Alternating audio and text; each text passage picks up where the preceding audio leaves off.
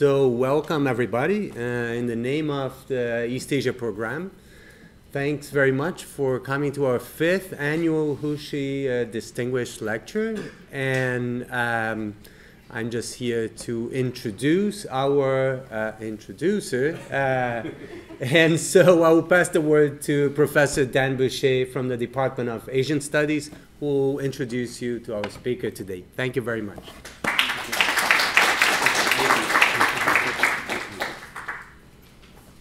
Uh, it is a really great honor and pleasure for me to introduce my former teacher and now my dear friend and colleague, Victor Mair. Uh, if I were to give you a full introduction today, we would take up all the time allotted for his lecture uh, because Victor's accomplishments are legion and uh, they, they, are, um, they, they are very, very difficult to encapsulate. Uh, Victor did his PhD uh, in Chinese literature at Harvard University in 1976, and very soon after joined the faculty at the University of Pennsylvania, where he still is. Um, he was then in a department known as the Department of Oriental Studies, uh, that is now uh, the Department of East Asia Language and Civilization. Uh, Victor very soon distinguished himself as the preeminent scholar of Buddhist literature discovered at Dunhuang, an oasis city on the western reaches of the Chinese Empire. And a particular focus of Victor's work, uh, especially early on, was on detailing the emergence of a literary vernacular in documents dating from the Tang Dynasty and the ways in which these documents were used in performative context.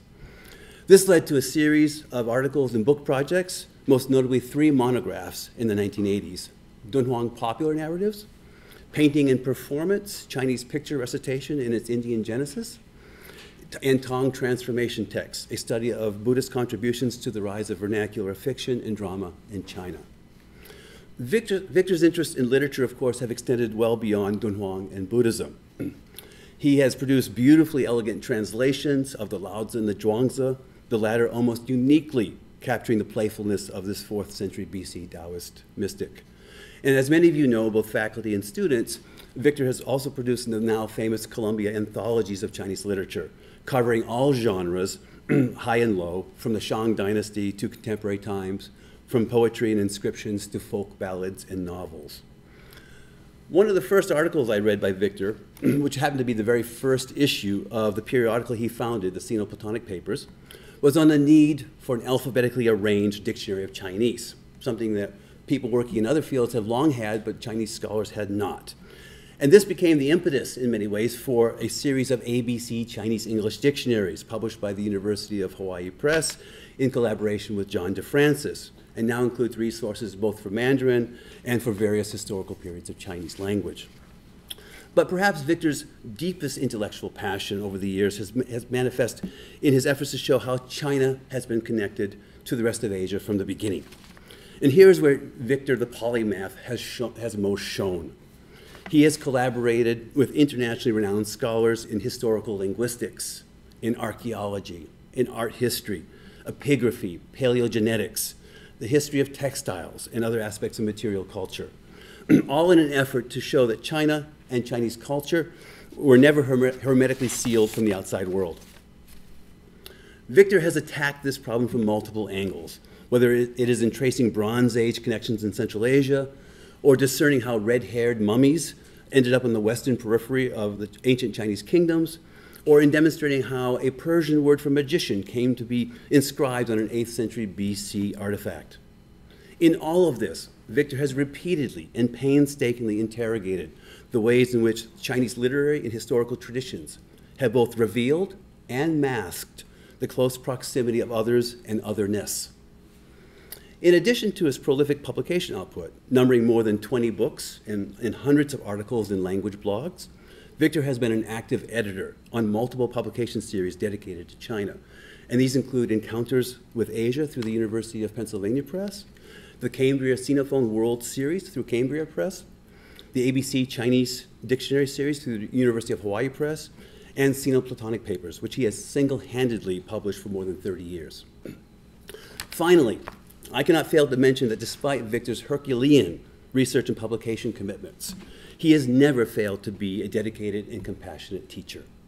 I have very fond memories of seminars with Victor in the early 1990s when he would routinely show up each week carrying a big stack of Xeroxes uh, into his seminar. And each, he knew what each of his students was working on, the kind of uh, project we had earmarked for the seminar uh, that semester. And he, in the course of his reading, would find a relevant article for us. And he would just start distributing these around the room every week. Um, and sometimes distributing hundreds of pages of text to us. his own scholarly peregrinations took him far and wide.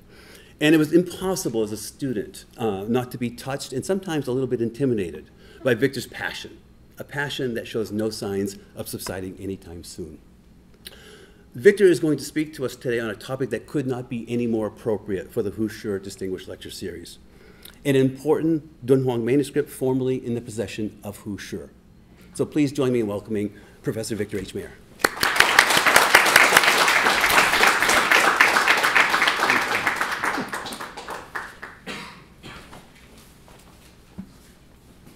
Okay, thanks, Dan.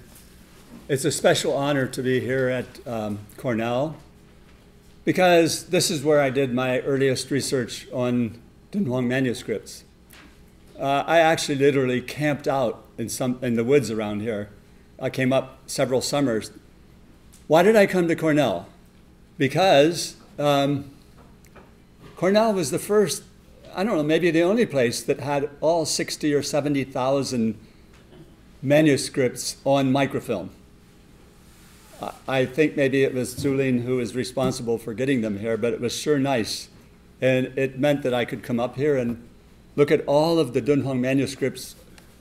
And I was very stubborn. I said, I'm going to read every single one. I mean, I didn't read them from begin to ending, but I looked at every single one of those 60, 70,000 Dunhuang manuscripts because I wanted to see um, any evidence of vernacular uh, writing, popular, uh, popular organizations that would have fostered the development of vernacular. And it was very gratifying. So I, I love Cornell. It's a beautiful place. And it's good to be back. Um, so I, I, first should say a few thank yous. Thanks to Dan for inviting me. And also, thanks to um, Amala Lane and to uh, Daniel Bass and to Josh Young. There he is. Okay, they, they were all very nice. Setting up, this was actually a very complicated trip to set up because I'm doing three things on one trip, uh, as Amala kind of indicated. Um, I'm giving this talk, lecture, and I'm uh, participating in the Chinese classical Chinese colloquium tomorrow, and then on Friday and Saturday, no, Saturday and Sunday, Friday and Saturday, also a tea, uh, a very big tea uh, symposium. So we could say in Chinese we say "yiju liang de." This is kill two birds with one stone. I'm killing three birds with one stone. "Yiju san de," uh, and I, it's it's kind of amazing. I still have time to run up to Lake Cayuga, which I wanted to, Cayuga Lake, uh, and see maybe where I camped out 40 years ago. um, but it's a particular honor to uh, deliver this um, Shih distinguished lecture because uh, Shih has been one of my greatest idols from the very beginning of my sinological career. Uh, I would say Hu and Paul Pelliot are my two greatest idols. I have maybe half a dozen others, but Hu is definitely one of them. And it's great to be here where he spent time. And um, I, I admire him so much for many, many things he did, but most of all for his championing of the vernacular uh, Huan Wenxue, for example. And um, so he also was very involved in uh, Wusi you know, with writing. I still remember a vernacular poem by him that I recited in Taiwan long, long ago in a Chinese poetry contest, uh, Chinese speech contest. And I still remember this line from uh, a poem of Hu Shih about uh, a bird in a cage, Lung Niao. And I remember I had I, I put on a. Uh, I said it was a Zhongshan Zhuang, not a Mao Zhuang, but it was blue, which was the wrong color, I guess, at that time. This was back in 70, 71. So I said on TV, in all of front of Taiwan, I said, 我要出来 you know, I want to come out of this very vernacular line. I want to come out of this cage. That's the bird speaking. okay. So that night, they, the judges, they, they ranked me like the worst because they said I was too dramatic. In Chinese, when they recite poetry, are not supposed to be dramatic, but also I know that they were annoyed that I was wearing a Mao suit. And I didn't mean it that way. I meant to be meant it to be a Zhongshan Zhuang, you know, Sun Yat-sen suit. So there, there is a, another, well, it's in here. Um, I, I was, uh, uh I had an obsession with one particular Dunhuang story, and there were six manuscripts of it. The main manuscript is in this box, uh, a facsimile, a very rare facsimile, and um, it's a story about Shariputra and the subjugation of six heretics, which I'll tell you about in some detail later on. So, this particular manuscript, which is Pelliot manuscript 4524, it's the only uh, Dunhuang vernacular manuscripts that is illustrated that actually the illustrations survive. It's just a miracle we have it because, because we have that particular manuscript, that one, 4524. Uh,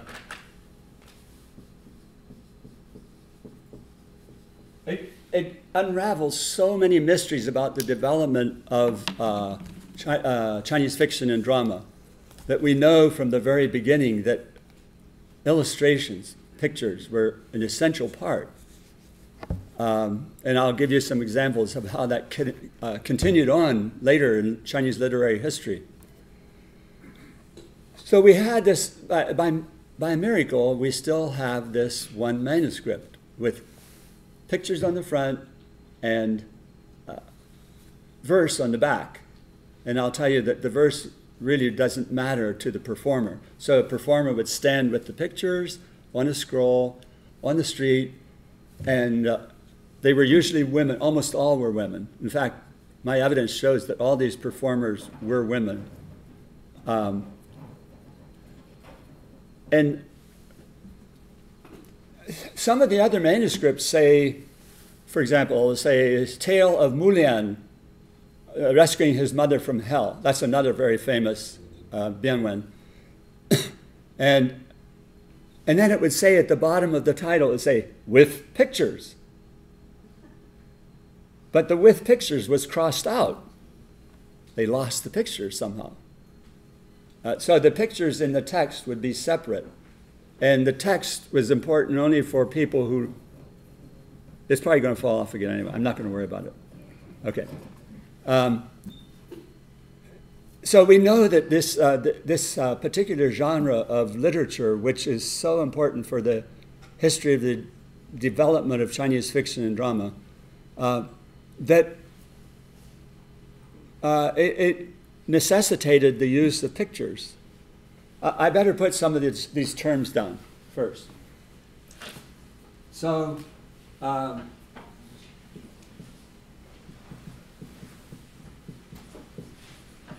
I'm talking about Bianwen, okay? I, I'm, I guess that probably 90% of the people in the room know Chinese characters. For the other 10% who may not know, mea culpa, I'm sorry. But this means transformation, and this means text. So these are called transformation texts. And um, I'll tell you in a moment what a transformation is in relation to pictures. So we also have, the, if we have transformations on the wall of a cave temple, for example, it will be called Bian Xiang. That's, that, I call this tableau. transformation tableau. So, what is a transformation? Oh, now the room is filled up. uh, what is a transformation? We could say it is Shenbian. This is a very Buddhist term, a miraculous transformation. And by the time I'm done with this lecture, I hope you have a sense of what a miraculous transformation is. If you don't know Buddhist epistemology, if you don't know Buddhist um, ideas about the nature of the world, it's very hard to understand exactly what a bian is and what a shen bian is. But this is what this this is called bianwen, and this is uh, you could say it's the the foundation of Chinese vernacular fiction and drama. The first extended vernacular narratives found by chance in a cave in Dunhuang. If, if we didn't find those manuscripts, I'm telling you, we would not know the true history of the nature, uh, true history of the nature of the development of Chinese fiction and drama. These manuscripts just totally transformed uh, our understanding of how fiction and drama developed in China. So I had this obsession with this particular one, which has the illustrations on the front and the poetry on the back. And I knew that there were six manuscripts uh, because the very Variorum edition in, uh, by Wang Zhongmin and other scholars said there's this manuscript in a Stein collection in British Library, and this manuscript in the Bibliothèque Nationale in Paris, and then there's a Hu Shih manuscript. But nobody knew where it was. Uh, and so I was, I'm very compulsive. If, if I know something's out there, I'm going to track it down. And I don't know how I figured it out, uh, you know, literally nobody knew where this manuscript was, but it, it was said that Hu Shih owned it. it was, it's called the Hu Shih manuscript. And somehow or other, I tracked it down to the Library of Congress, United States America, of America Library of Congress. And it was, I don't know if the manuscript itself was there when I found out that they had it at one time, but through a long process of negotiation, uh, I found out that they had magnificent photographs of that manuscript, and they're here. I, I got a whole set of the manus, uh, photographs of that Hu Shih manuscript, and it was very important for me because I couldn't find. It's very necessary for correct readings of the Shariputra transformation text. All right, that's all that by way of background. Why, why Hu Shih? why, why I came up to Cornell so often. Now, when I look at um, a map, well, if I look at Eurasia from space, which I love to do, I, I, I begin most of my lectures with this because that's how I, I don't just look at China. I think I'm always deceiving myself and my audiences if I only talk about Chinese things by talking about China itself. China was very, as Dan said, I, I really appreciated his um, introduction. China was open to, I mean, this way too, uh, uh, to the world. From, I mean, this way, we call it the Silk Road, right? But we could call it the Glass Road or the Bronze Road. Uh, or the Spice Road. A lot of things traveled along this way. Uh, and the bronze, bronze, was coming into China from uh, the west, um, third millennium BC. It was heading this way. So, you know, it's that word, uh, Silk Road, it's a misnomer. And it's, it was never used in antiquity. It was, I don't know if you're aware of it, but it was invented by a German in the late 19th century. And he called it Die Seidenstrasse. And the, the guy who invented that name was if you read Snoopy, it was the Red Baron's uncle. You know, the Red Baron was the best pilot in World War I. Even the, the enemy rec- recognized that the Red Baron was the very best pilot. And his, I think his uncle, I don't know the exact relationship. Um, so Red Baron was called, uh, I think, Manfred von Richthofen. And his uncle was another von Richthofen who was a geographer who discovered things, and especially this range, which is called the Richthofen Range. Uh, in Chinese, it's the Qilian Shan. So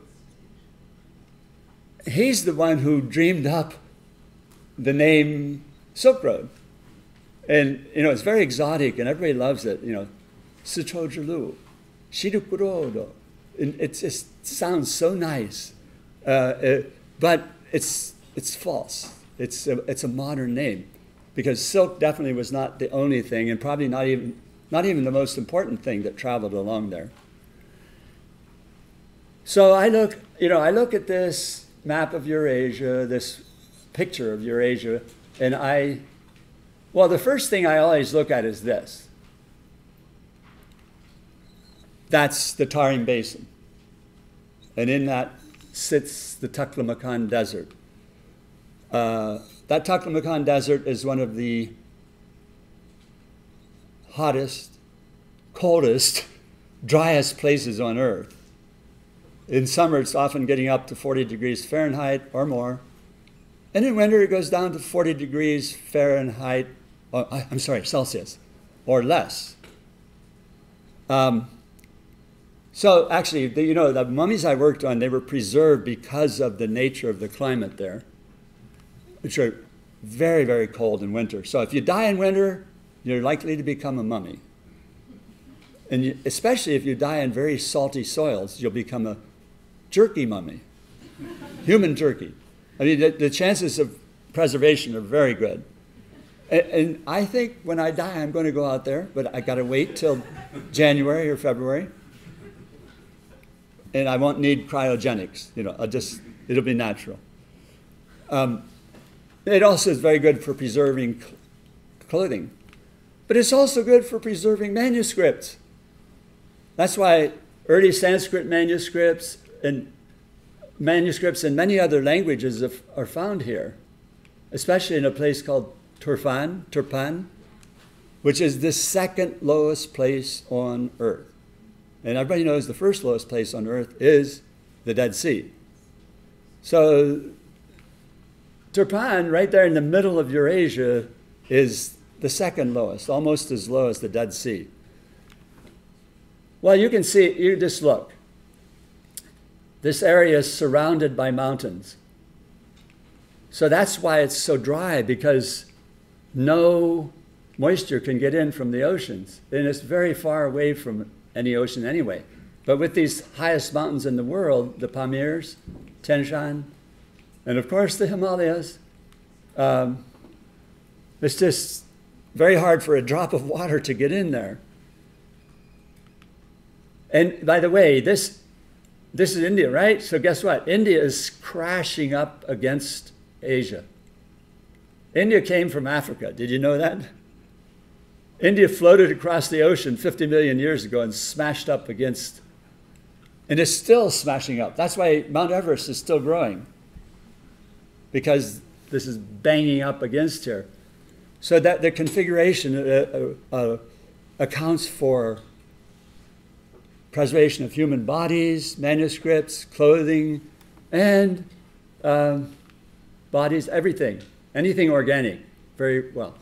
So at, at Turpan, we have like 20 different languages preserved, including some languages of Iranian peoples we also have some of them here, uh, Sogdian and Khotanese, for example. Uh, but there's one very special language from the northern rim called Tocharian. How many people in this room have heard of the language called Tocharian? Dan has. okay. It's very, very important, even though we only know about it from the manuscripts that were discovered here within the last century or so. And it's especially important because it is a Northwest European language. You know, it's linguistically it's closest to languages from up here. But there it was, definitely by the Han Dynasty, because the word for lion, for example, comes from Tocharian. And the word for honey comes from Tocharian, already in the Han Dynasty. So somehow or other, well, I have my theories, and I've written books about it, and long articles, you know, like how they got over there, uh, and how early they got over there. So we have Middle Iranian, we have Tocharian, we have Hebrew, we have a lot of Persian, um, all preserved in that uh, part of the world. So the, the, the Silk Road, oh, the second thing I look at when I see this whole business is right there. That is the Ordos, the, the great loop of the Yellow River. It's so strange you know, why the river decided to go. and I, in Chinese, they, they actually call it he tao, which means like loop or lasso. I call it the lasso that lassoed part of the steppe and brought it into the zone. Uh, uh, but it's still a desert. The Great Wall was built right up through there. And um, to try to keep the northern peoples from coming in to China. So th- this is the Gansu corridor, the Heshi corridor. I'll be talking a lot about it in a moment. Gansu corridor or Heshi Zoulang. And about 500 kilometers long. And you go out through there, and then there's the Jade Gate. And, and then the Silk Road splits into a northern and a southern. And then there's also a, one that goes across the steppe, the steppe road. Well, Xi Jinping has his Idai Lu, and you know he's resurrecting the Silk Road. Uh, good for China. It means business. It means power.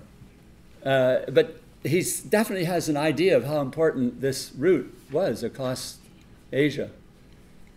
And then you go down into India, and why do you want to go to India? Well, India had a lot of good stuff too, including original Buddhist manuscripts, because China Chinese Buddhists, they wanted original texts. The Indian masters would come to China and they would say, I'm a specialist in this or that sutra. And the Chinese say, Great, where's the text? It's like, Where's the beef? And they would say, Here. And the Chinese say, Produce it, write it. And they didn't, they couldn't. Because to them it was something you memorized and you spoke. And Professor Boucher is a, a grand master of the early translation of these texts that were coming to China from India. So now I'm going to talk about the most famous of the pilgrims who. I always spend too much time with preliminaries, but then I talk fast. Did it go? Yeah. Okay, so the most famous of the pilgrims was Xuanzang, right? You, you've all heard of Xuanzang. And everybody thinks that guy is Xuanzang. And for all intents and purposes, for all Chinese, that is Xuanzang. Um, it's important. He, he went to India to get manuscripts. And also, he's very important for the development of the Journey to the West, COG because The Journey to the West is a fictional rendition of his trip to India. So he's a very important man. And he's also the guy who probably forged the Heart Sutra, which is probably the most important sutra in East Asia. But he, he did a tricky thing. He back translated it from Chinese and made up the Sanskrit. Very clever move on Xuanzang's part. But there he is. Uh, and he's supposed to be like going off to India and getting, oh, oh, I'm not supposed to walk over here. I, I got to control myself. Okay. Um, But you see, he's got scrolls there, right? If he's coming back from India, he's not going to be having scrolls. He's going to have what, Professor Boucher? Patra. Palm leaf. Palm leaves. Yeah, he'll have palm leaf manuscripts. So that's one strike against that being Xuanzang. Uh, he's got his censer there. Okay, now this, don't they look similar in terms of their iconography? These two guys? I think he has a, some, a, censer hanging down. He has a lion. In some of the versions like this, I don't know if you, can you see a lion there? He has it? Or a tiger, tiger. I, I think it's lurking in the background somewhere.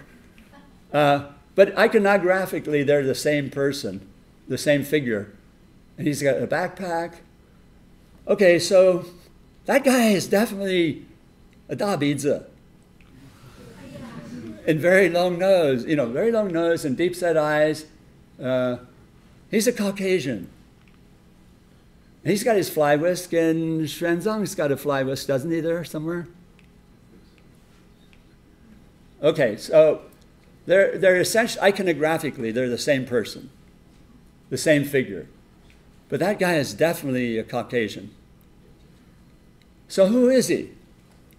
Well, he's got scrolls, but notice how the scrolls are wrapped up in batches of six or so. Uh, I will later say that that would be the amount for a full storytelling set. So I hypothesize that this man was a wandering storyteller.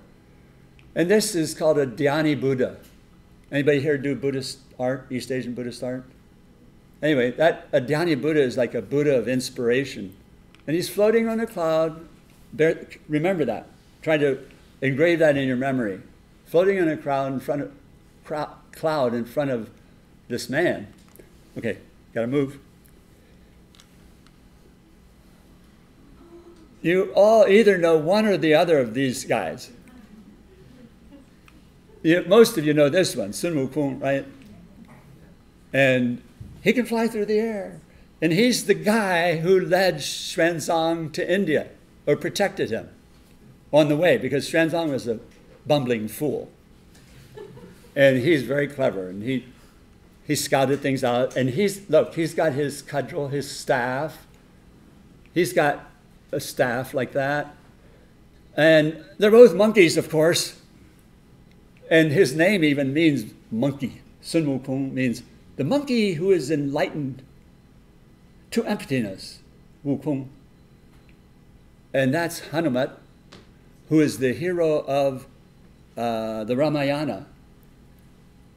I wrote a paper for a conference at Academia Sinica probably about 30 years ago, in which I, it was a 100 page paper, and it had a hundred or more parallels between him and him. I'm not, I'm not giving a lecture about that now. I'm just telling you that he's from India, he's from China. He was going to India to take Xuanzang there so Xuanzang could get Buddhist manuscripts. Now we're going to walk the way Xuanzang did. And I really am going to speed up. Yep. Okay, so here's the pathway out to Central Asia. Uh, from down here would be uh, Chang'an or Xi'an. And I told you split. There's Dunhuang where the manuscripts, where these manuscripts came from, Dunhuang Caves. Uh, a lot of different languages are preserved there too. And then this is where the Tocharians, the center of Tocharians were. So we go around the Tarim Basin. There's sites all around here with mummies and different kind of precious treasures. Another, to, to orient yourself, uh, more maps, detailed maps, so you get an idea of where everything is in relation to China, which is, there's China and all this is out here. And so I mentioned uh, Tocharian, this very important language, which is related to Northwest European languages. Uh, and this is a very precious manuscript. Most Tocharian manuscripts are just little fragments, tiny fragments. This is one of the more complete ones, but you can see it's, it's uh, lacking some lines, fragmented, but most of them are just like little bits. Uh, this is in a script called Northern Brahmi, an Indian script. Uh, these, these manuscripts date from around 6th, 7th, 8th century Tocharian. And I hope when you all leave this room, you will never, for the rest of your life, forget the word Tocharian. Okay? Victor Mair taught me Tocharian, taught me about the Tocharians. It's super important. And if you ever have any doubt about that, send me an email, and I'll give you a lot of references. All right, so th- this is now we're getting into illustrations. And I want you, I gotta restrain myself. Uh, I want you to look at the end of these are called cartouches. This is an illustrated Buddhist sutra, a page from it.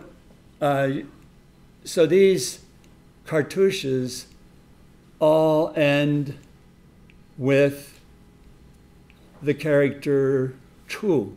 It's a, it's a form you may not recognize, but it's place, Japanese tokoro. So, and it, they start usually, well, like, let's take this one. Oh, I can see it right here. Huh. Okay. 此人命中得见佛处. Can you see it? 此此人命中得见佛处. I'll translate it for you. Usually I try to coax it out of the audience.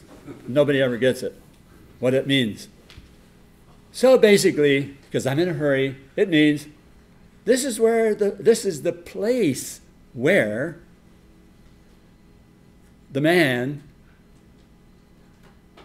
uh, th- this is the place where the man at the end of his life gets to see the Buddha. So it's a place. This is the place. So remember that when I go into the rest of my talk. Place, the concept, I call this narrative locus. A locus, a place in a narrative. We also have some texts that say this is the time, 时, when such and such happened. I call that narrative moment. So we have narrative locus and narrative moment.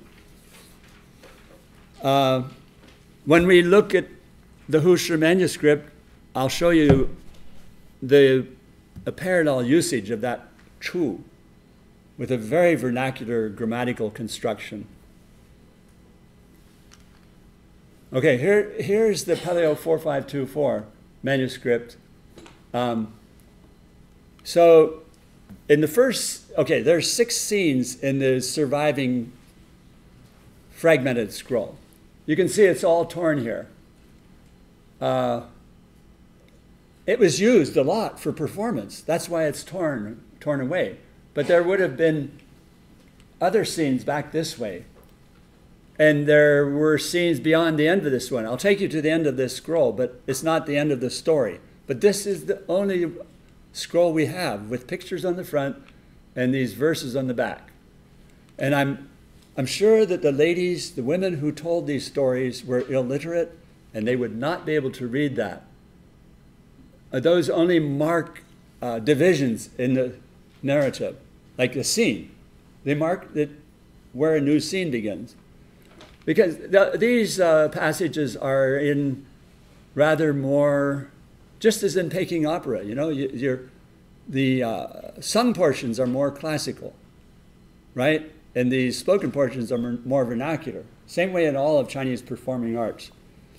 So these, this is more classical. I'm sure the ladies who performed these could not read it. So this is a color version of it. It uh, the first scene shows, well, I have to tell you the story very quickly. So the Buddha asks Shariputra, one of his most important disciples, to supervise the construction of the Jetavana Vihara. which means a park of Prince Jeta, eh, eh, to make it into a monastery for the monks. Um, who is uh, Anathapindika, Pindika, who was a wealthy elder, bought the park, the land from the prince, and donated it, ceded it to the Buddha for the use as a monastery. But the heretics, these guys, the bad guys, Shariputra will be sitting over here, but he's torn off in this scene. So these bad guys, they protested. They're basically Brahmins. And you can see they look very Indian. Okay, uh, the Brahmins were Indians, uh, but they're the heretics. And their leader is called Rodraksha. So they, they objected and say, we, you cannot give this important land to the Buddhists because the Buddhists, they're the heretics. you know, the Buddhists were the upstarts. They're the people that I, I call, you know, in terms of Hindu religion, they would be Zheng. And Shariputra would be Xie, you know, Zheng Xie, heretics, heretical. But from the Buddhist point of view in China, those guys were heretics. So uh, they, they protested and said, We're smarter than Shariputra. We're smarter than the uh, Buddhists. We know more. Our wisdom is greater. Let's have a contest and we'll show you how much more superior we how more how more superior we are than uh, than the Buddhists. The Hindus are saying this. So they have a contest in the well. Let's go to the king. Oh, the first scene is this is a Vajrapani demolishing a mountain. The mountain was created by them, the heretics. Okay? First, the heretics create this. And then Shariputra creates this Vajrapani, this warrior. And he smashes it to bits with his adamantine mace. Okay? Uh, so, how do they produce these things? This is key. This is key. They produce them through Shenbian, miraculous transformation, mental powers. That it's like a movie camera projecting something in front of your in front of your eyes. That's what that's what they did. And you don't believe it, but they believed it, and the king believes it. So uh, the story is that, and the story in Buddhist minds, well, in anybody who saw the scroll would believe that it's real. So they project through supernatural transformation from with their mind power. They project that. Shariputra projects this. Are you base, kind of basically following me? Okay, thank you. And there's the king. It says king on his head, on his crown and he's watching. And then um, if the, whoever wins, they beat a drum or a gong, like, like an, an inning in a baseball game. Uh, so the heretics lost one. And then you see some of the people in uh, the king's entourage are starting to look this way. That's very important for narrative flow. Okay, because this scene is, well, it's, it looks like it's static, right? It's painted, it's static. But this kind of gives motion to move us forward to the next scene. You agree, don't you? uh, so the king is saying, all right, Shariputra got the fir- uh, wins that one. Okay, now we move on to the next scene. Well, now you get to see Shariputra this great disciple of the Buddha. And he's got mostly Chinese looking people with him. That's wrong. Historically, it should, they should all look like Indians too, because they were all Indians. But the painter must have been a Chinese out there at Dunhuang. So he painted all these good guys to look like Chinese. But there are some weird alien looking types horns coming out of his head. And that's a very Central Asian kind of helmet. But mostly, well, that guy looks like um, one of Buddha's uh, most original, most important disciples. He, he could be a foreigner. He has a very long nose, doesn't he? Yeah. Okay, so they're all nice and regular looking. Oh, but so important. What's up there? Remember, I call it a Dhyani Buddha. It's a Buddha of inspiration. So this guy, it's so key for my uh, argument about that iconographical form of Xuanzang, the Ur iconographical form, because it's the same figure. A, a Dhyani Buddha floating on a cloud to give him inspiration to make really good transformations. This is all stuff that I explain. There's no textbook to explain this. It's stuff I figured out. Oh, this is so wonderful. So this is the uh, next scene. Uh, well, it's obvious what happened. You know, the the the Shah, the the heretics made this water buffalo, this big buffalo. Shariputra creates this lion with a flamboyant tail, and he chews him up, blood, gore, dripping. Now, there's a French scholar named Nathalie Monnet who has traced this exact motif all across Eurasia. It's incredible, her, her research. I'm, I'm begging her to publish it in Sino-Platonic Papers. It's so stunning what she has done. It, it's, I saw her give a lecture on this at uh, the Getty Museum a couple years ago. And, you know, the, her research shows even the blood dripping, the, the placement of the teeth, the claw, it's all the same from Mesopotamia to China and even up into Europe. So that's how motifs travel, art travels, ideas travel. Her, her, if I ever get her to publish her paper, it will be absolutely phenomenal. Okay, are they beating the drum? They lost, and even the, even some of the heretics are looking this way. They're they know they lost this one. The king, miswritten king there, uh, looks like a neo almost. Uh, I think there were multiple artists involved in making this because they, the brushwork, the the way they make people look are different. Uh, going on to the next scene. Okay, this is like a marker between different scenes. It's like a proscenium uh, on a stage. There's one side of the stage, there's another side, and there's a tree on either side to tell you this is a scene.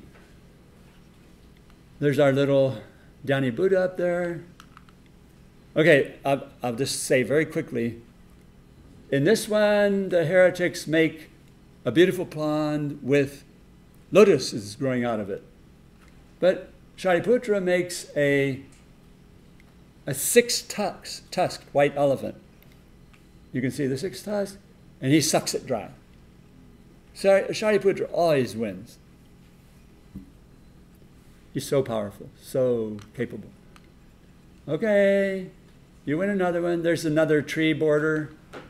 And when you have a big division of the narrative, then we also have a mountain.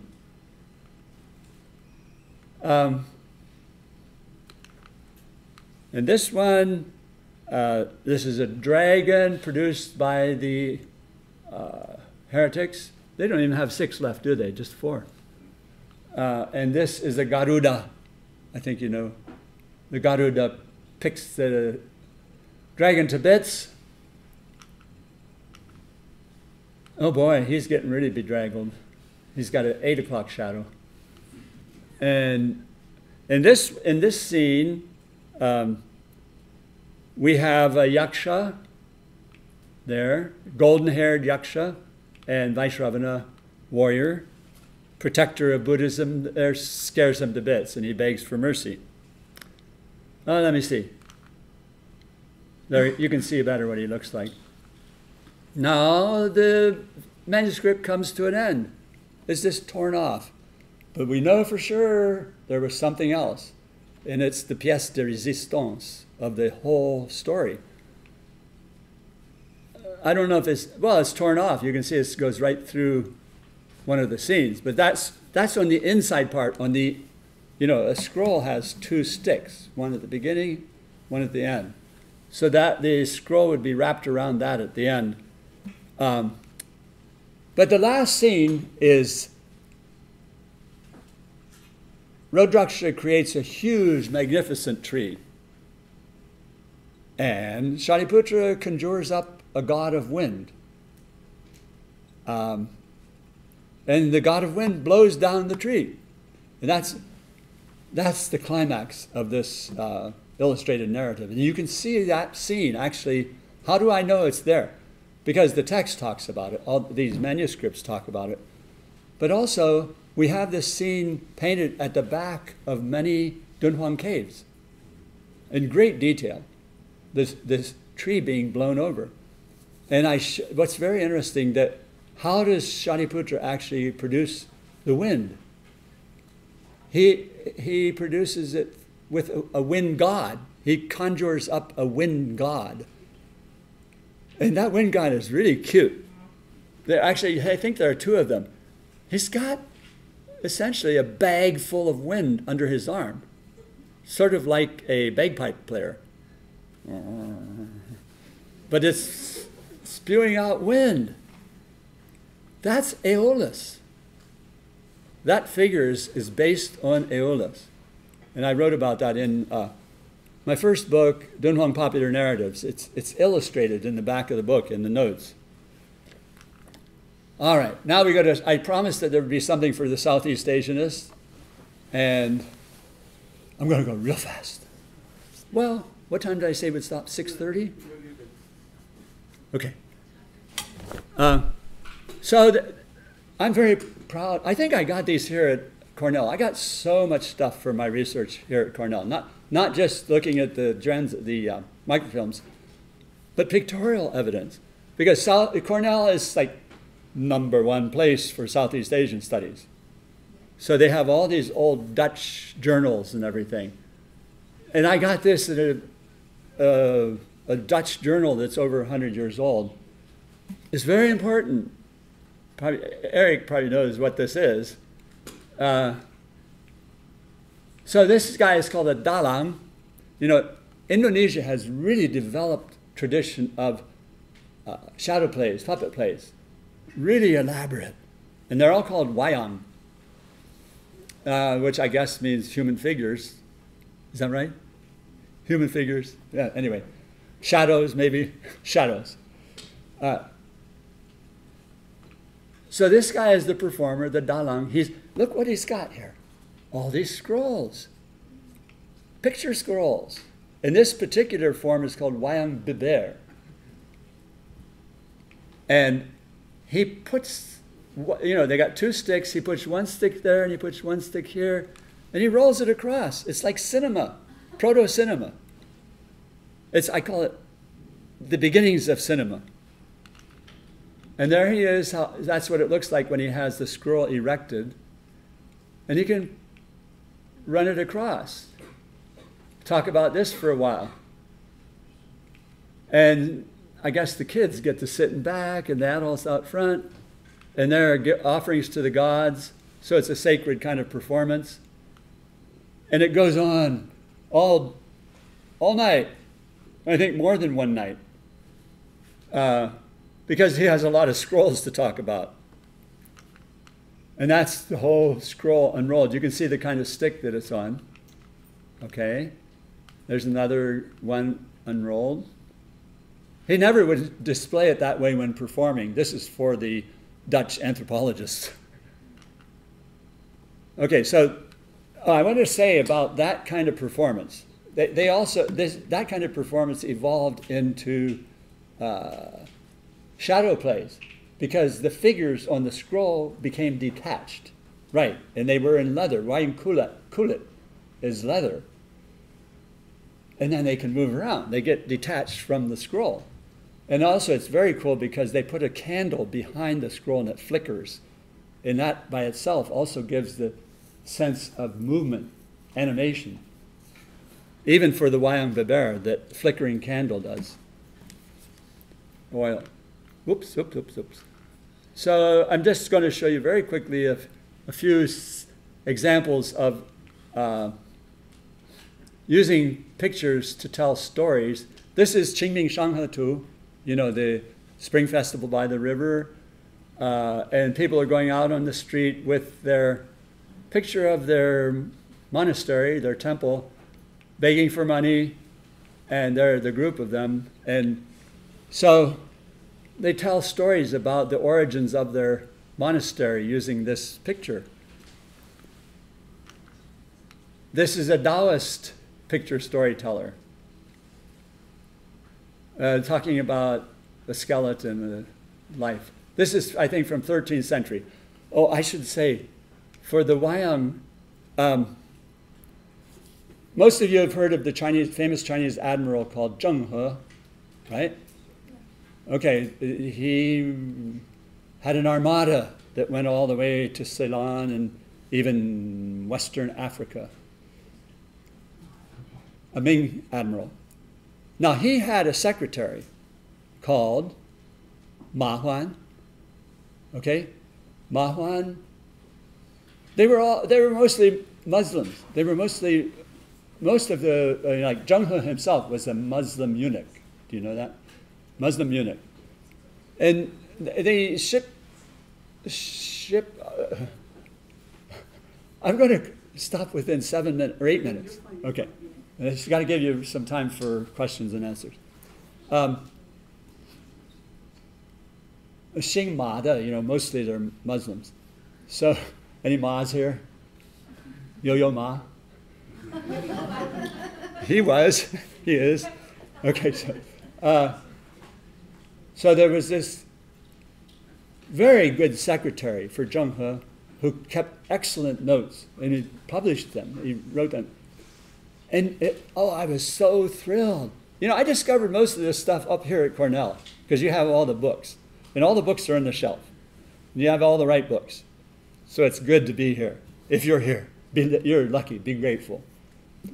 So uh, I found this at Cornell, and uh, I also found uh, Ma Huan's uh, diary here. And, and in it, he says, Oh, he, he saw this performance.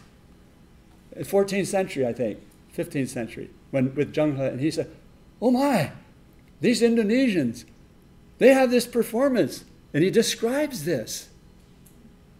I'm getting chills telling you this because he said it is just like Pinghua back home. How many of you have ever heard of Pinghua? No? Historians of literature. Okay, Chinese historians of literature. It's a very important part of Chinese literary history. Like after Bianwen, then you get Pinghua. Pinghua means like discursive tale. Um, but he said the Indonesians, the Java Javanese, they, when they do this thing, he didn't call it wayang beber. He didn't know what it was called. He just said they. He described it in very great detail. He said, so when he described that as being like Pinghua, that filled in a huge gap in Chinese literary history because it tells us that Pinghua were illustrated scrolls. And uh, so far as we have it now, they're just, you know, that kind of Chinese book that has text on the bottom, text, uh, uh, pictures up on here, and text on the bottom. That's what we call Pinghua in Chinese literary history. But we know from Ma Huan that it was originally this. That's really, really important. I, I, wrote about it maybe 30 years ago, but the scholarly world has not yet caught up with what I did 30 years ago. Hurry up, guys. Okay, this is a Tibetan picture storyteller. She's, what do you call them? Tanka? Yeah. So she's, look, she's got her pointer. She's standing on the street and she points to different scenes on the Tanka. Probably her little kid, and maybe a young, another daughter, an assistant. But you can see it's a woman, and that, it would have been like the Bian storytellers would have been similar women on the street. But in China, they could attract crowds of like thousands. We have descriptions. And then, if the government needed soldiers to ship off to Yunnan, malarial Yunnan, they just go to one of these bien performances on the street and rope people up and ship them off to the south. They were so popular. It's like TV or movies today. Oh, this I got to go so real fast.